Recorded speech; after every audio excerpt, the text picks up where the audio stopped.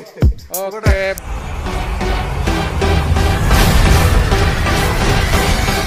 Hello guys ജലിജാസിന്റെ മറ്റൊരു വീഡിയോയിലേക്ക് എല്ലാവർക്കും സ്വാഗതം.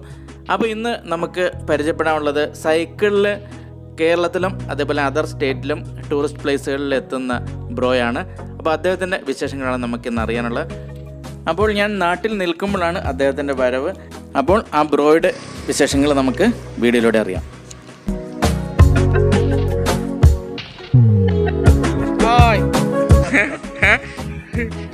ഇതെവിടെ?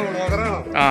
നമ്മൾ വ്ളോഗറാണ് അപ്പോൾ നിങ്ങൾ വരുന്ന കണ്ടുകൊണ്ട് ഞാൻ ഇവിടെ നിൽക്കുമായിരുന്നു അപ്പം നിങ്ങൾ ഏതോ ഒരു ദീർഘയാത്ര പോയിട്ട് വരുന്ന പോലെ എനിക്ക് തോന്നി ഏഹ് അപ്പം അതിനെക്കുറിച്ച് അറിയാമല്ലോ എന്ന് വിചാരിച്ച് കൈ കാണിച്ചതാണ്.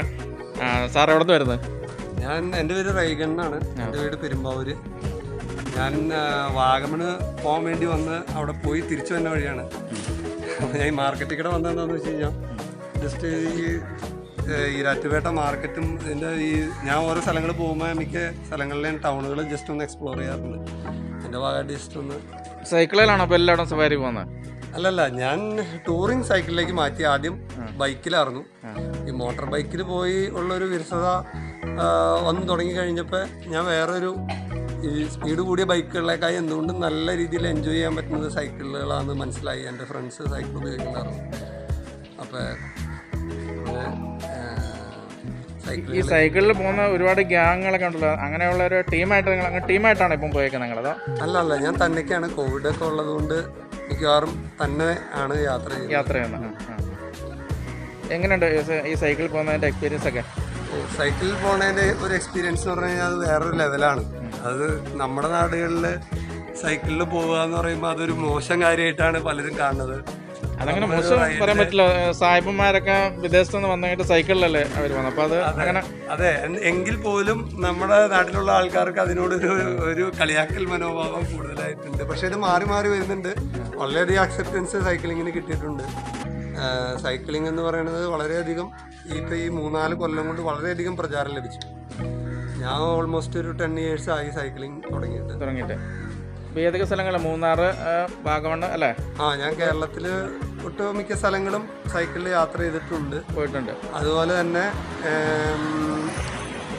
ഔട്ട് ഓഫ് സ്റ്റേ സ്റ്റേറ്റ് പോയത് കോയമ്പത്തൂർ അങ്ങനെ ഒത്തിരി ദീർഘ യു- ദൂരയാത്രകളെല്ലാം പ്ലാൻ ചെയ്യുന്നുണ്ട്.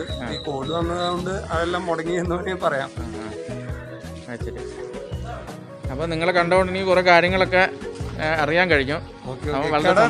എന്റെ പേര് ജലീൽ നമ്മുടെ channel Jaleel jazz. Okay okay. അപ്പം നിങ്ങൾ സബ്സ്ക്രൈബ് ചെയ്യണം.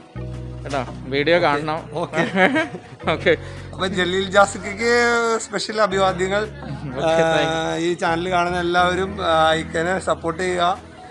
ഞാനിവിടെ വന്നു അപ്പൊ ജസ്റ്റ് എന്നെ കൈ കാണിച്ചു. ഇങ്ങനെ കണ്ടുള്ള ഒരു പരിചയമാണ്. എന്തായാലും സൈക്കിളുകൾ ഇഷ്ടപ്പെടുന്ന ഒത്തിരി പേരുണ്ട്. ഇപ്പൊ കട കടയുടെ തൊട്ടപ്പുറത്ത് തന്നെ ഒരു സൈക്കിൾ ഷോപ്പാണ്. അതാണ് ഞാൻ ഇവിടെ കൈ കാണിച്ചപ്പോൾ നിർത്തിയത് ഈ സൈക്കിൾ ഷോപ്പ് ഷോപ്പാണ് പുതുപ്പറമ്പില്ലേ അതെ അതെ അതെ. Okay okay okay. അപ്പൊ അതാണ് ഞാൻ നിർത്തിയത്. ഞാൻ സൈക്ലിങ്ങിന്റെ ഒരു ഇതായതുകൊണ്ടാണ് ഓക്കെ ഇപ്പം പോയിട്ട് വരുന്നല്ലോ അതോ അങ്ങോട്ട് പോകുന്നതാണോ?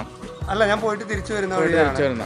ഇപ്പം ഇങ്ങനെ നേരെ പെരുമ്പാവൂരാണോ? അതെ അതെ അതെ. അവിടെ ഓക്കെ ഓക്കെ. അപ്പോൾ താങ്ക് യു അപ്പോൾ ഇത്തരം കാര്യങ്ങൾ ഇറങ്ങിയാൽ വളരെ സന്തോഷം. അപ്പം ഇനിയും വീണ്ടും അടുത്ത യാത്ര ഇനി ഇപ്പൊ എങ്ങോട്ടാ?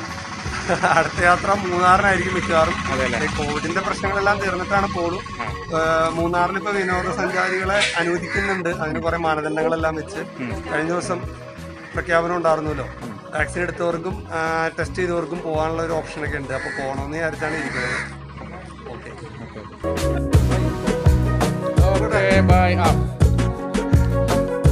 അപ്പോൾ മറ്റൊരു പുതുമകൾ നിറങ്ങിയ വീഡിയോ എത്തുന്നവരെ എല്ലാവർക്കും ഒരിക്കൽ കൂടി ഗുഡ് ബൈ